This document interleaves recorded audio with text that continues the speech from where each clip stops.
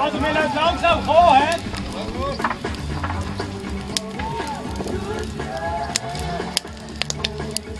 Achtung!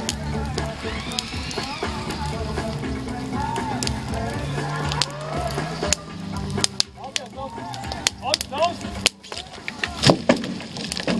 Schreiben! Ja, ik ja gut, wenn man.